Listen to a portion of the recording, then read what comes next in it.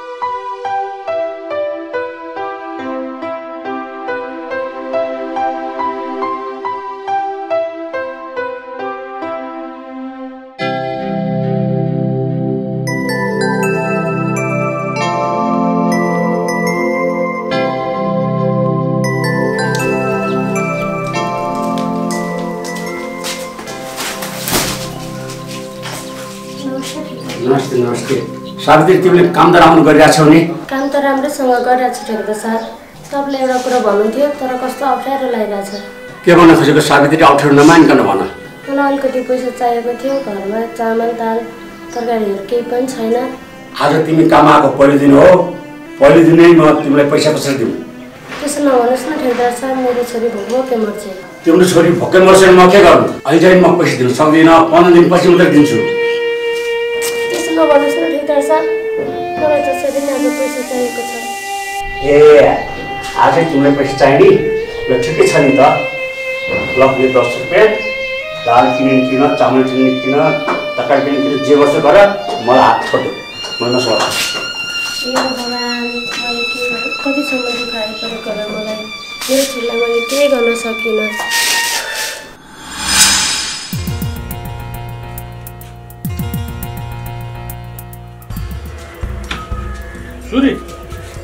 म सावित्रीकोमा गएर आउँछु। घर छोडेर कहीँ पनि जाने होइन राम्रोसँग घर कुरेर बस्ने। दादाजी म घर छोडेर कतै पनि जान्न। तर सावित्रीको तपाईँ किन जान्नु भयो? सावित्रीलाई एक लाख रुपियाँ ब्याज दिएको दुई दुई वर्ष भइसक्यो। सामु ब्याज अहिलेसम्म केही पनि आएको छैन। त्यही उठाउन जान लागेको। कारी साहब अनि के त्यो सावित्रीसँग पैसा होला र?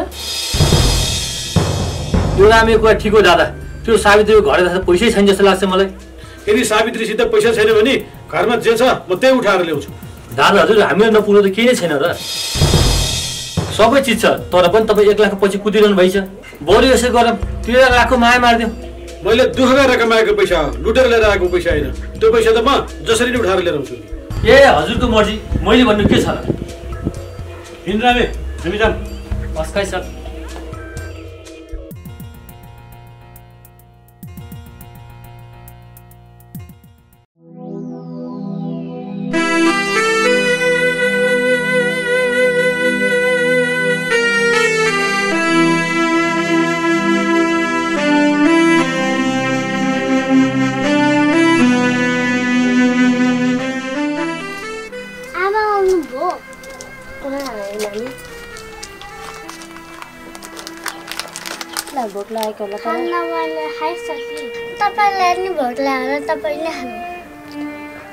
मैले त खाइसकेँ। तिमीलाई कसले के दियो र? म त भर्खर कामबाट आउँदैछु। रामा आन्टीले चाउचाउ र बिस्कुट ल्याइदिनु हो टन्न तल मैले अरूले दिएको नखा भनेको होइन? के गर्नु? मलाई साह्रै भोक लाग्यो। रामा आन्टीलाई भनेको चाहिँ टन्न खाइदिनु। सावित्री!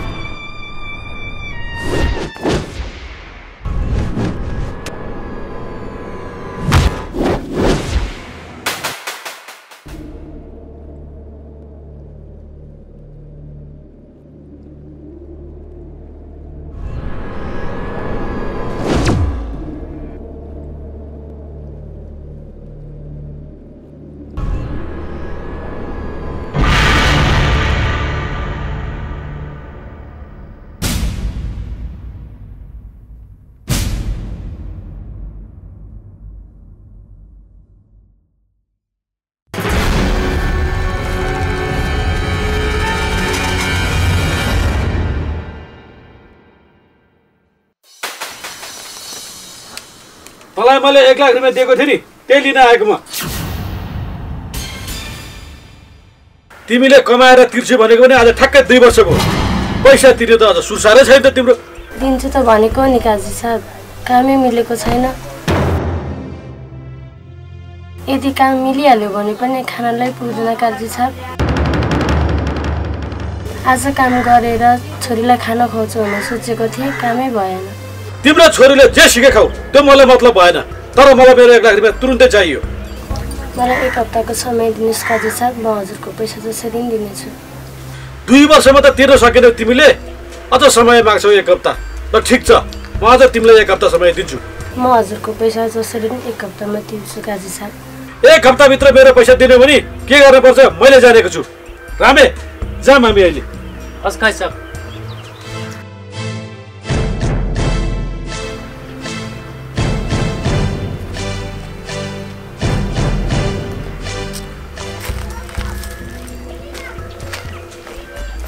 काजीबा किन छोड्नुभएको तपाईँले सावित्रीलाई त्यसरी?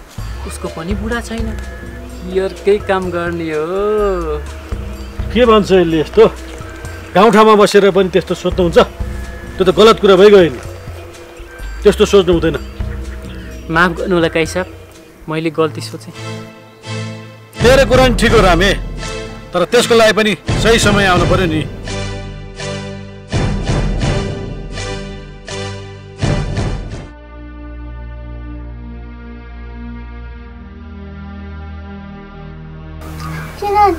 आमा? रुन लाग्यो भने छोरी मेरो अनुहारै यस्तै हो।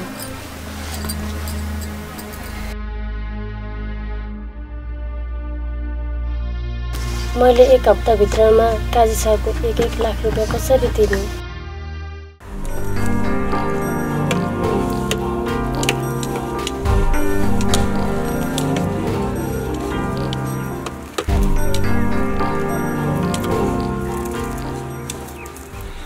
बाबा सावित्री दिदीलाई त काजीबाले घरे गएर गाली गरेछ नि त।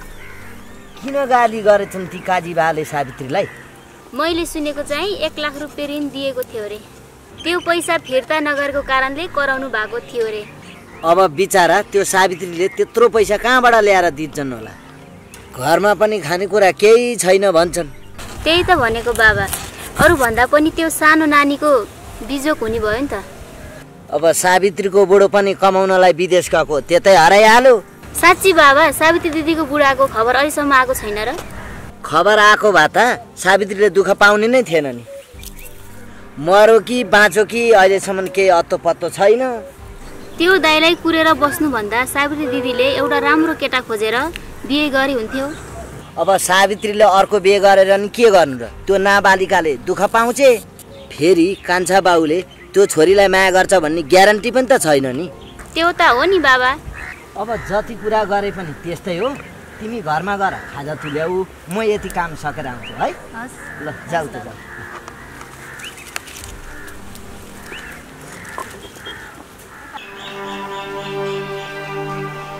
काकु बाबा कता जानुभयो?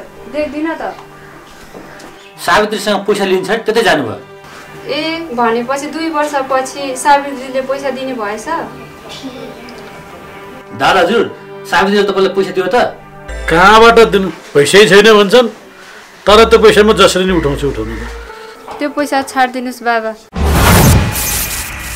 सावित्री दिदीले दिन सक्नुहुन्न। माया मारिदिनुहोस्। त जान्ने किन? तैँले माया मार्दै भनेर हुन्छ। त्यो पैसा त म जसरी लिन्छु लिन्छु। सावित्रीले एक हप्ताको समय मागेको छ। त्यो हप्ताभित्र नि पैसा दिएन भने? एक हप्तासम्म नि पैसा दिएन भने तपाईँले के गर्नुहुन्छ दादा हजुर सावित्रीलाई त्यही त हो नि। सोझो औँलाले घुवाएन भने औँला बङ्ग न मैले नि जानेको छु। यसको मतलब के भन्न खोज्नु भएको बाबा? तँलाई के मतलब चाहियो? त खुर्केभित्र जा। तपाईँले भन्न खोजेको कुरा त बल्ल बुझेँ दादा हजुर मैले त।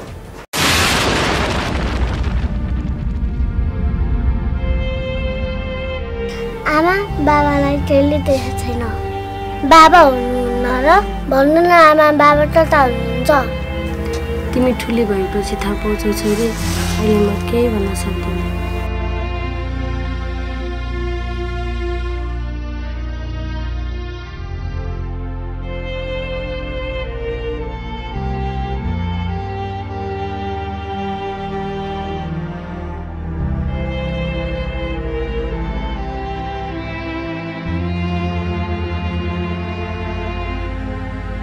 सावित्री बहिनी अनि के छ त हाल खबर? के हुनु भएको त्यस्तो? भन्न मिल्ने भयो भन भन्न नमिल्ने भयो ठिकै छ। मनको पीडा जति सुनायो मन उति हल्का हुन्छ भन्छन्। त्यसो भए भन न भएको चाहिँ के? अघि काजी साप आउनु भएको थियो। एक हप्ताभित्रमा एक लाख पैसा देऊ भन्नुभएको छ। नत्र जे पनि हुनसक्छ भन्नुभएको छ। आफ्नो घरमा खानेकुरा केही छैन। बिहान बेलुका छट्टाल्ने गाह्रो छ आफूलाई। एक हप्ताभित्रमा कसरी एक लाख पैसा तिर्नु मैले? साह्रै गाह्रो रहेछ नि बिचरा तिमीलाई पनि। भाइ विदेश गएको अहिलेसम्म अत्तो पत्तो पनि छैन। कि तिमीलाई फोन गर्ने गरेका छ? तपाईँलाई थाहा छँदैछ मसँग फोन छैन भनेर। तिमीलाई पनि साह्रै पीडा छ। मैले गर्न सक्ने भए गर्थेँ। मेरो हालत पनि उही त हो नि नानी। यसो छोराले पाल्छ कि भनेर ऋण गरेर पठाएको? यस्तै हो नानी। विदेश गएपछि एकपल फोन पनि गर्दैन। अब मलाई चाहिँ सानो काम छ। म चाहिँ अहिले जान्छु। म चाहिँ गएँ है नानी।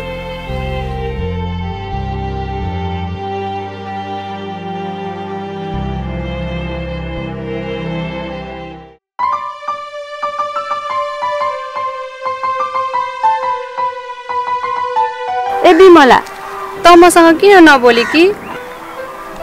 किन बोल्नु पर्यो त त? हुने खानीको छोरी परिस्।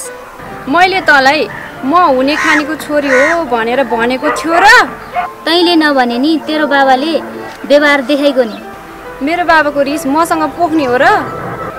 मेरो बाबाले तँलाई के भन्नुभएको थियो र मसँग रिसाउनलाई मलाई त केही पनि भनेको छैन तर सावित्री दिदीलाई भनेको रहेछ। मेरो बाबाले सावित्री दिदीलाई के भन्नुभएको थियो र मलाई त केही पनि थाहा छैन।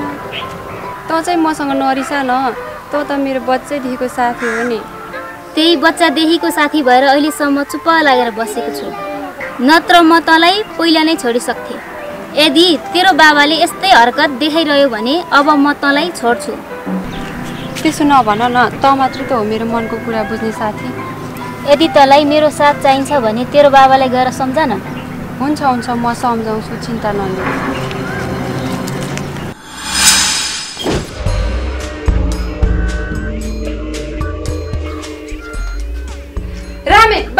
हुनुहुन्छ। काइसा भित्र हुनुहुन्छ। बाबा बाबा बाबा। किन? के भयो? किन बोलाएको? आज तपाईँको कारणले मलाई मेरै साथीले नराम्रो भनी। मेरो कारणले रे? मैले त्यस्तो के गरेको छ? र? तपाईँले साबित्री दिदीलाई गर्नुभएको व्यवहारले। बरु यसो गर्नुहोस् बाबा त्यो साबित्री दिदीसँग लिनुपर्ने पैसा माया मारिदिनुहोस्। तैँले माया मार भन्दैमा? मैले एक एक लाख रुपियाँ माया मार्न सक्छु? त्यो पैसा त मैले ज्यान गए पनि माया मार्दिनँ। कुरा बुझिस् नि तैँले ठिक भन्नुभयो काई साहब तपाईँले। त चुप लाग रामे। बाबा तपाईँले मेरो कुरा किन बुझ्नुहुन्न? तपाईँको कारणले मलाई मेरो साथीले छोड्न लागिसक्यो। ए उसो भए तल मभन्दा नि ठुलो तेरो साथी भयो होइन? कुरा त्यस्तो होइन बाबा मलाई त तपाईँ पनि ठुलो मेरो साथी पनि ठुलो।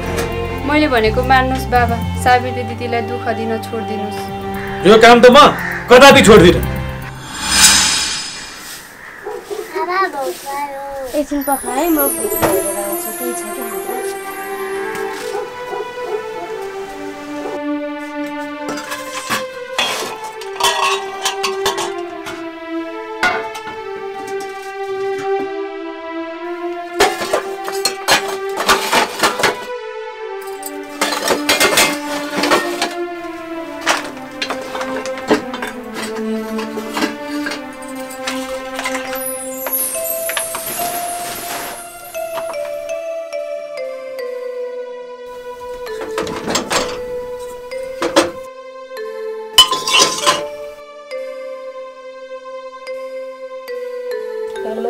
हातमा? घरमा त केही खानेकुरा छैन के चाहिँ खान दिने होला छोरीलाई?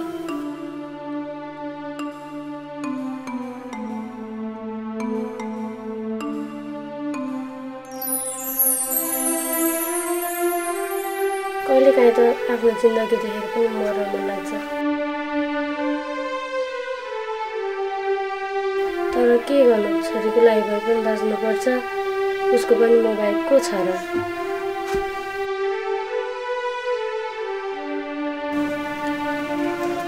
नै त्यहाँ गरेर मिठो खाजा खुवाएर आउँछु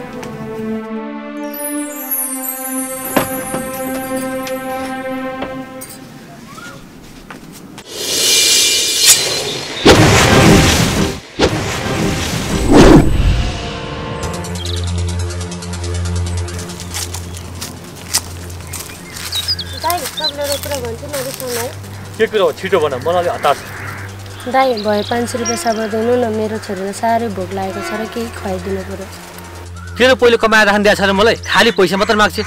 खुडको काम गरेर खायो भने माग्नु मात्र आउने।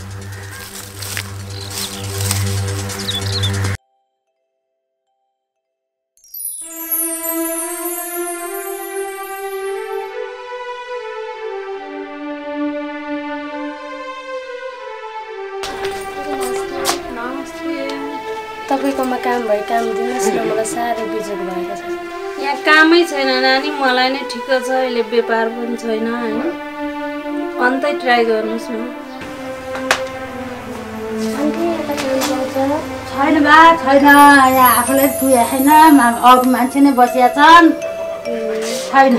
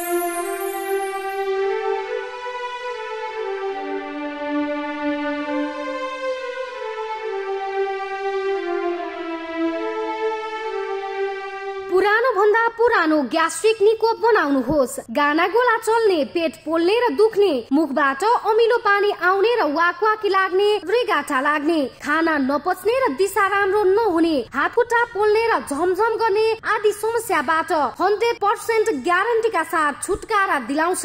साथै हामीसँग कोलेस्ट्रोल पत्थरी पाइल्स कब्जियत थाइराइड यौन रोग तथा महिला रोगका लागि पनि जडीबुटीहरू पाइन्छ। नेपाल लगायत विश्वका जुनसुकै मुलुकमा पनि सामान डेलिभरी हुनेछ। योन्जन हर्बल प्राली ललितपुर। सम्पर्क टेलिफोन नम्बर अन्ठानब्बे पाँच दस साठी छ सय पैतालिस। अन्ठानब्बे पाँच दस साठी छ सय पैतालिस। अन्ठानब्बे शून्य असी उनासय दुई सय चौतिस। अन्ठानब्बे शून्य असी उनासय दुई सय चौतिस। योन्जन हर्बल चिया पिउँ सधैँ निरोगी रहौँ।